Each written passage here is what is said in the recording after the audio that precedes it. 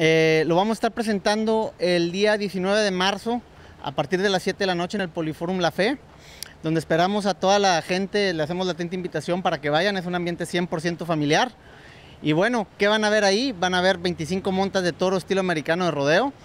Eh, van a ver pirotecnia, regalos, payasos cómicos, regalos para los niños, concursos. Es un ambiente que, que a la gente le ha gustado mucho y lo traemos por tercera ocasión consecutiva. Entonces, este, pues esperamos contar con, con el apoyo de toda la gente.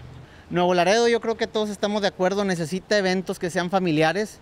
Ha habido bailes donde pues no puedes llevar a un niño, eh, eventos masivos donde no es posible convivir con, este, con las criaturas. Entonces, este tipo de eventos eh, los, nos gusta traerlos porque la gente convive, pasan todos un momento agradable